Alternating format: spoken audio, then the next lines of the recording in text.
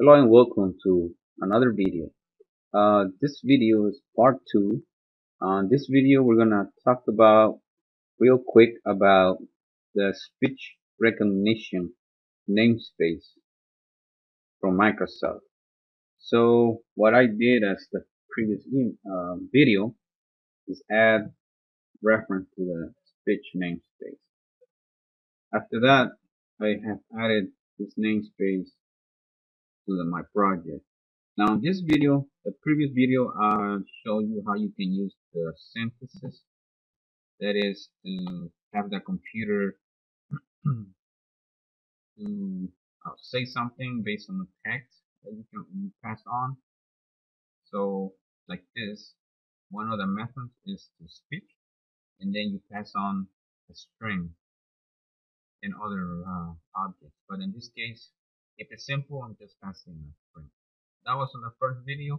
On this video, we're talking about the recognition, speech recognizer object. And it's quite simple to use. Uh, we're gonna try to do it on this video. But one of the examples that I found was that for this example, we have choices.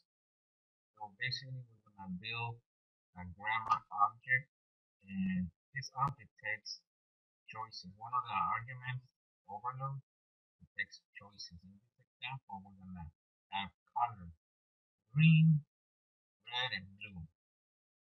So you pass an array string. That's the argument for one of them. And then you can go ahead and append those choices to the grammar builder. After that, you can build an actual grammar.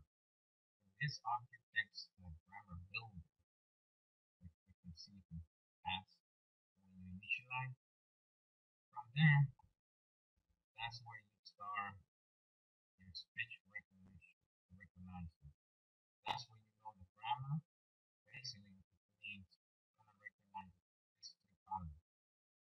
And here, you can see I have uh, two events one is about recognize and second reject. So we're gonna see how this goes. Again the rejected. Basically we will just depending on the confidence if the intent was recognized, we will go ahead and see it or not. We won't see it. Now if it does work, if it does recognize the color, we will go ahead and speak it out loud doing this. So I have to have a percentage, and out loud. You don't have to do it, but it's simple.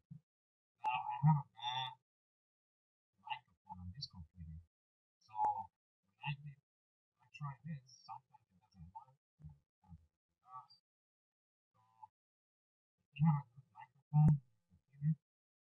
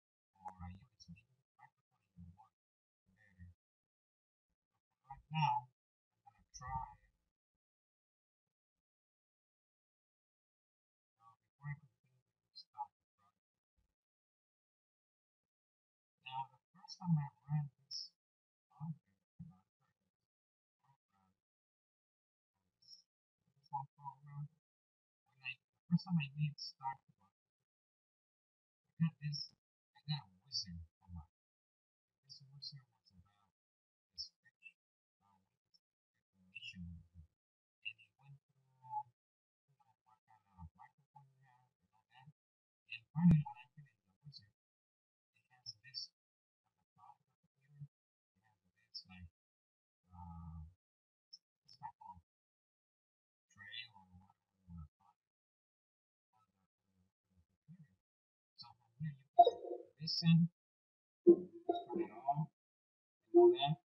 So just be aware that the first time you run this code, you might get a wizard about stick recognition option how you can set it up. Just follow the wizard, finish it off, and then you'll get this nice the top. So I think this is the missing and it's passing on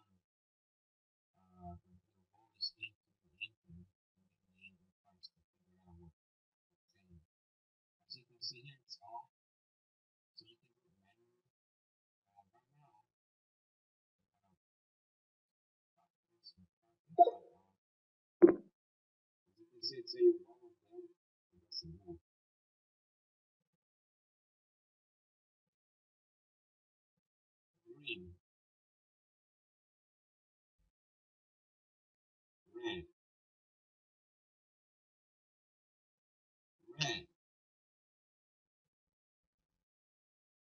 as you can see, so far I've been trying to do it, but it's not recognizing, probably because of my microphone.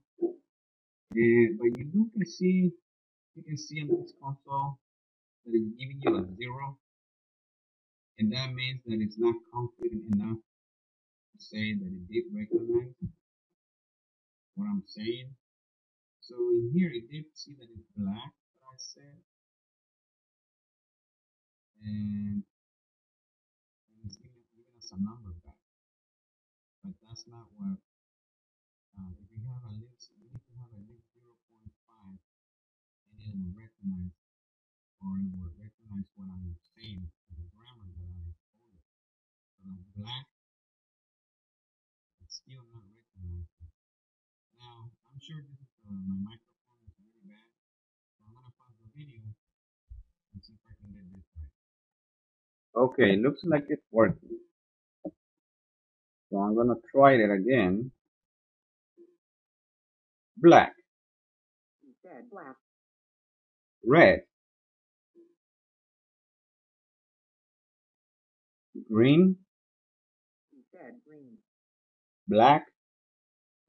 Black. Blue. Blue. Black. Black. Green. Green. So as you can see, it does recognize black and green, but it's having issues with color blue. Blue.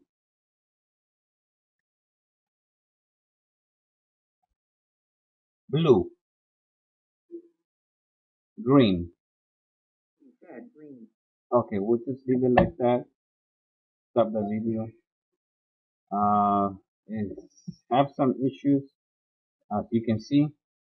Um, one one of the re recommended things to do is to have a microphone that you can actually plug in via USB, and you will have a better result than I did. But at least it will give you an example that it will recognize and depending on what it does uh, recognize in this event, depending on the text, you can have here like a switch or an if or something like that, and you can make your computer do different things. So it's kind of interesting, but uh, the key thing is that the grammar has to match, or the your microphone has to be really good so it can understand uh, what you have in your grammar. So thank you for watching. Until next time.